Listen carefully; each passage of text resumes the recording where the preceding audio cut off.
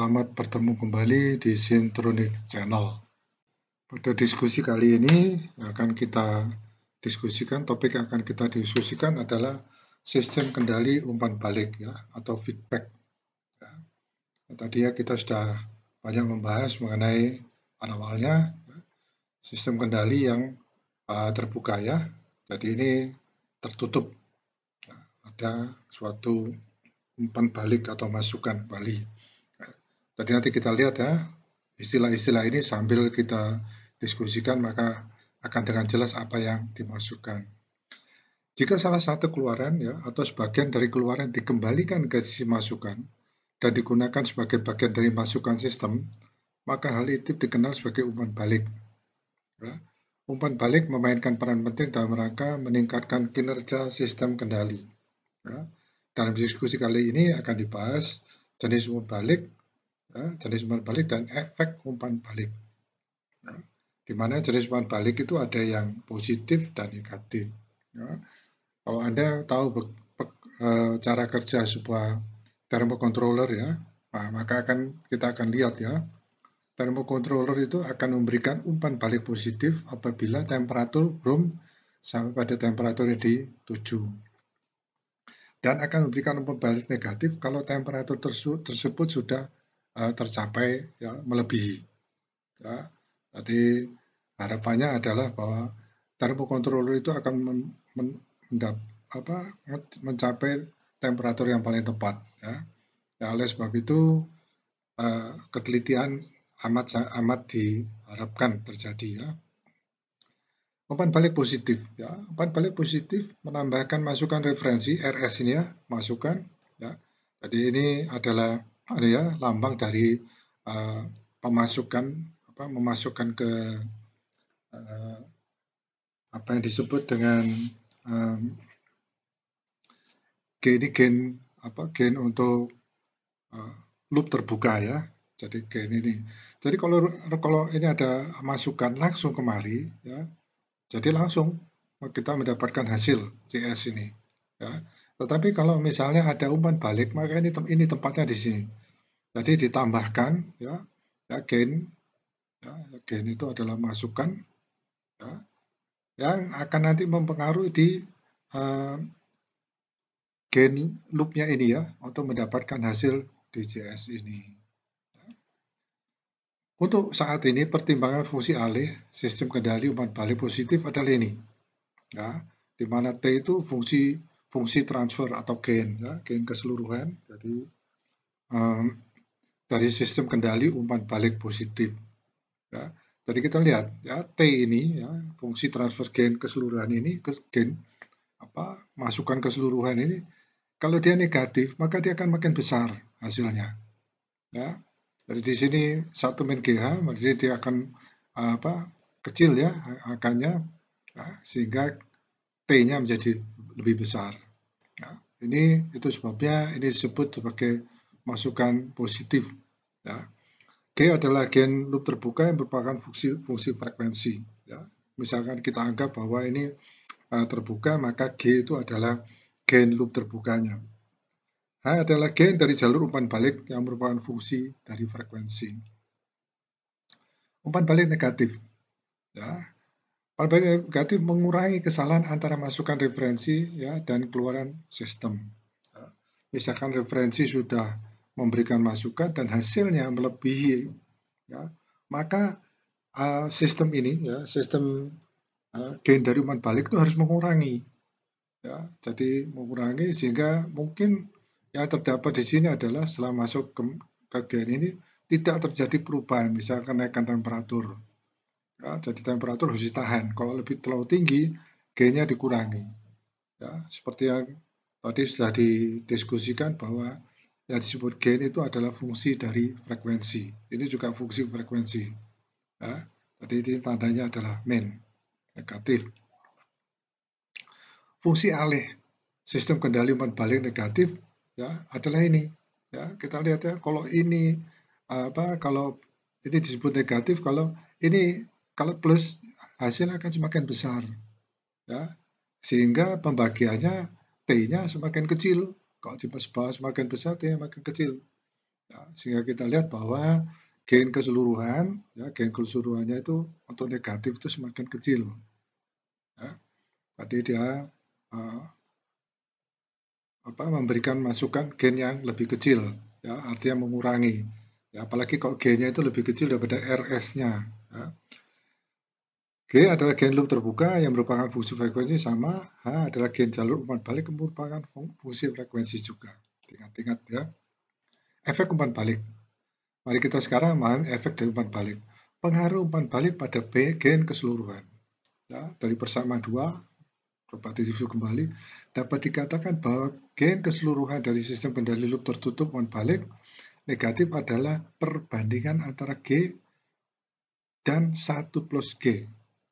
Ya, ini adalah untuk yang uh, negatif ya, karena 1 plus G-nya makin besar kalau ini ada tanda plus.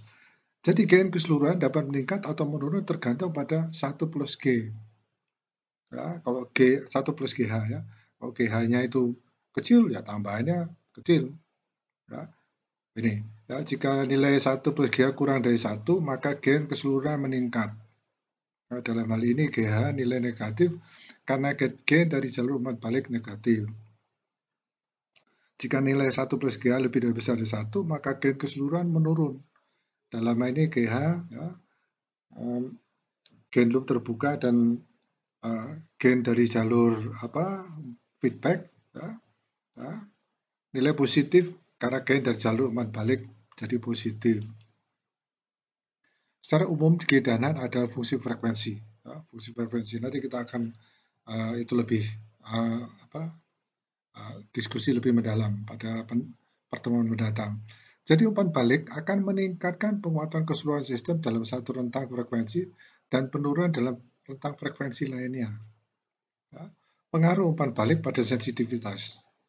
Sensitivitas gain keseluruhan dari sistem kendali loop tertutup umpan balik ya, negatif ya T ya ini keseluruhannya terhadap variasi dari gain loop terbuka didefinisikan sebagai ya sensitivitas ini ya sensitivitas ya, sebagai dt per t dibagi dg per g delta ya, D.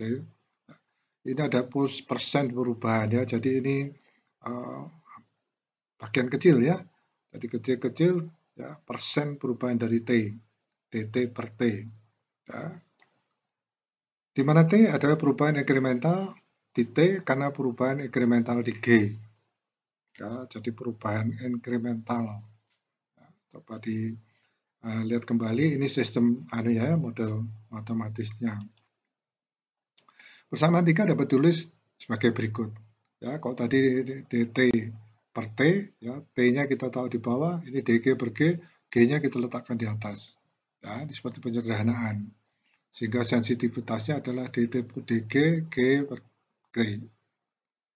Lakukan diferensiasi parsial terhadap G pada kedua persamaan pada kedua ruas persamaan dua. Kita diferensiasikan ya didapatkan uh, ini anu ya ini kalau kita diferensiasi ya maka yang didapatkan adalah seperti ini ya dt per dg di ke arah g ya diferensiasi ke arah g persamaan dua dt per dg sama dengan uh, del ya del g del G dibagi 1 plus GH. Nah, sehingga yang didapatkan adalah 1 per GH kali 1 dikurangi G kali H per 1 plus GH pangkat 2. Ya. Kalau kita hitung disederhanakan lagi menjadi 1 per 1 plus GH pangkat 2. Jadi DT per DG-nya itu adalah ini. Ya. Bisa kita masukkan nanti di sini, DT per DG-nya. Ya. Selanjutnya, bersama dari persamaan 2 akan didapatkan G per T zona 1 plus GH. Ya, dapat review kembali.